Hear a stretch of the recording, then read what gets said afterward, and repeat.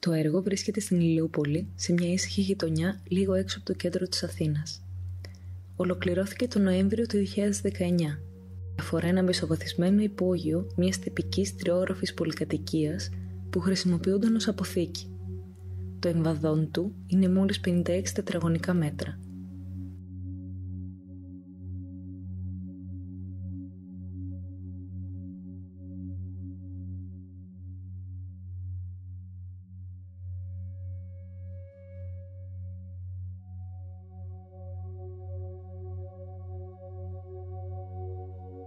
Οι πελάτες, ένα νεαρό ζευγάρι, αποφάσισαν να μετατρέψουν το χώρο σε διαμέρισμα.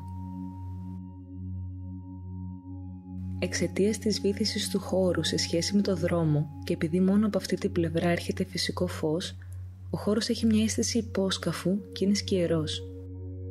Μοιάζει σαν να βρισκόμαστε σε μικρή σπηλιά.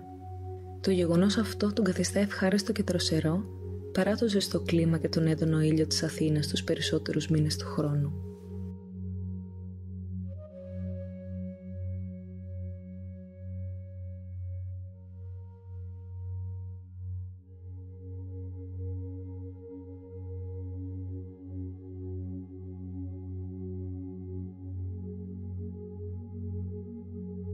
Στόχος της ανακαίνησης υπήρξε να ενταθεί αυτή η αίσθηση της σπηλιάς.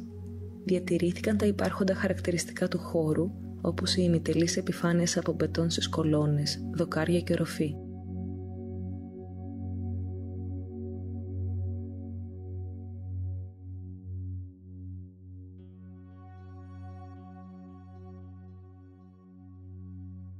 Προκειμένου να μην ελαχιστοποιηθεί περαιτέρω η αίσθηση του μικρού μεγέθους του χώρου, δεν προσέφηκαν καθόλου εσωτερική τύχη.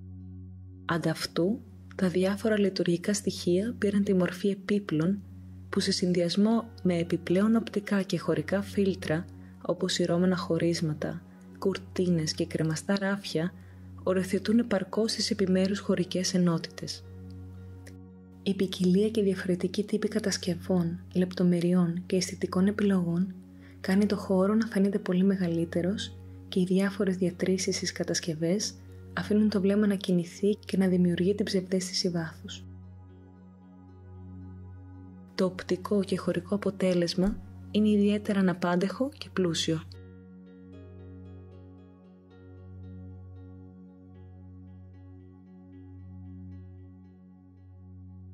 Για να κρατηθεί το κόστος χαμηλό, διατηρήθηκαν τα υπάρχοντα σιδερένια παράθυρα και η εξώπορτα καθώς και υπάρχουσα μικρή τουαλέτα στην οποία προσθέθηκε χώρος ντους.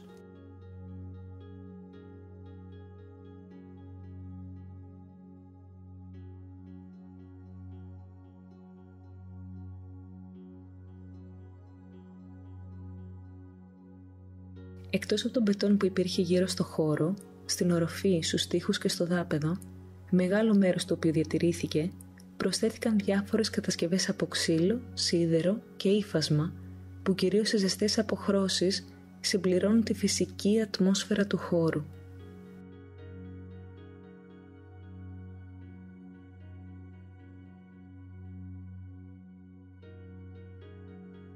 Τα κεραμικά πλακάκια κότο που καλύπτουν το δάπεδο βρέθηκαν σε μια αποθήκη με ξεχασμένα υλικά χρησιμοποιούνταν συνήθως κατά τη διάρκεια της δεκαετίας του 70 σε βεράντες.